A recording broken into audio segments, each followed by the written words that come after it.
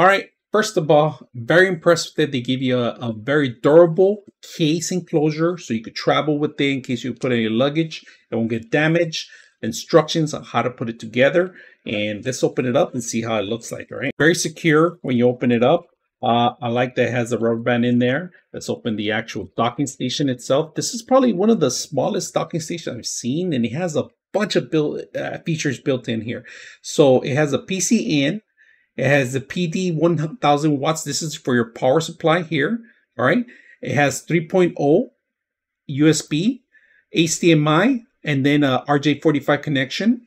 And then we spin it around the back it has a type C and two more 3.0 and then you have a micro SD card in the bottom and an SD card here. Now the enclosure is set up inside so we're going to open it up right now but they also include the cables all right? They give you a type C to type C because you're going to be transferring rate high especially on an NVMe or you're going to use this as a docking station. Make sure yeah your computer or your or your handheld device is compatible with this. So we're going to open it up and see how it looks like inside. Inside, if you guys notice, they give you the actual uh, a radiator and all the fixtures needed for the actual uh, enclosure here. So you put your MVNE in here and make sure the radiator radiator is installed and then the cover goes on the top. If you guys notice the cover comes out easy because it's magnetic. So that means if you have multiple NVMe's, you can always replace it with different ones. If you have different sources or you maybe you have your tutorials or or your platforms, this is easy. They include the actual um, screws that you require to actually keep the NVMe down. Uh, different millimeters, if you guys can see 40 all the way to 80 in the top. So very simple. We're going to put this together and see how it works. We're going to set up our NVMe here. Um, for this docking station, you don't have to see screws. It comes with some plastic in enclosure. So basically just put it in. This is a four terabytes that we're putting in here and place it down. Once you place it down, all you got to do is screw it down here. And, and when you do that, you got to twist it, right? So there's only one way to twist it in there. So let's put these suckers in here first. All right, for testing purposes, we're going to set it up on our uh, on our Surface book here. So we're going to plug it in. And if you notice, Surface only has a, a two um, Type C connections. So we're going to plug it in.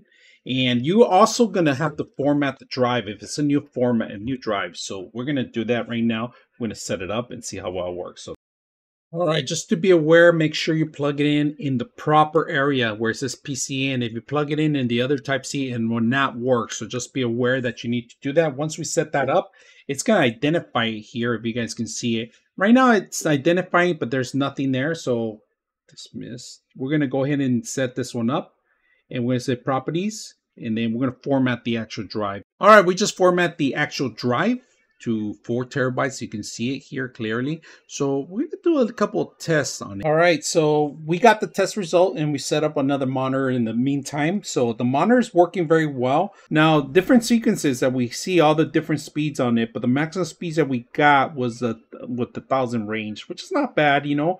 But for being a generation four, it should have been a little quicker. But because it's it's not the fastest M.2 there is in the market, we should have got something uh, like a 980 or a 990. Uh, Samsung's a little quicker, but it does a job for retaining files and videos and so forth. And, and the system works very well with it. I integrated it with the actual video card and included with the actual connection and, and included with the actual HDMI that we connected. So very simple. All the things work out of the box. I hope you guys enjoy the video. 99.6 of you are not subscribers in my channel. I hope that the content helps you out and you find it very useful. And I hope you hit the like and subscribe.